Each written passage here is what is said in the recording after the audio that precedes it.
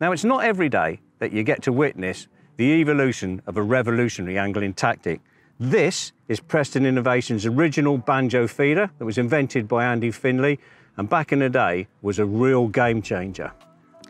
But Preston's innovation design team have taken the tactic to a whole new level for 2021.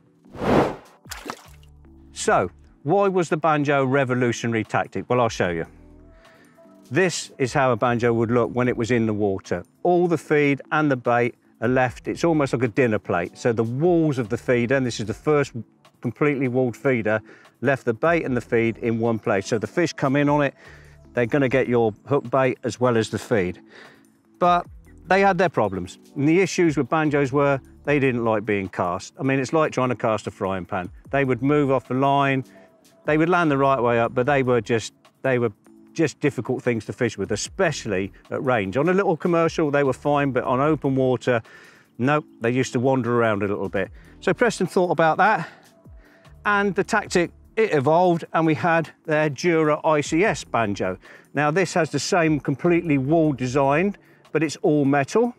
And although it's wedged with most of the weight towards the rear of the feeder, it worked well enough. And it's an ICS feeder, which means it's unique to Preston, which is their sort of quick change system, if you like. You can swap between different types of feeders and leads. Uh, that works really well. And this was a second generation banjo. But it's 2021 now, and the design team have had a really long, hard look at their feeder, and this is what they've come up with.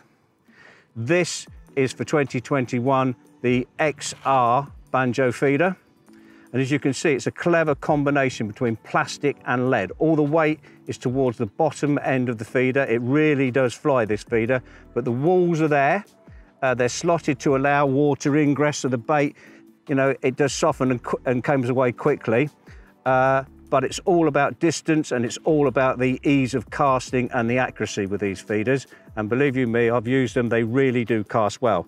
Now, Preston have made molds for these feeders and most anglers that use that type of feeder, because you don't need to put a lot of feed in because you're casting, so you need quite a sleek uh, design and feed on the, uh, on the feeder itself, would scoff at the fact that you might want to use a mould. But trust me, Preston have been really clever with the design of this mould.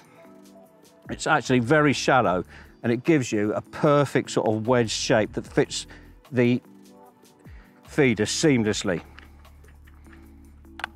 Now I can't put it on with my hand as good as that, and that really is fabulously aerodynamic.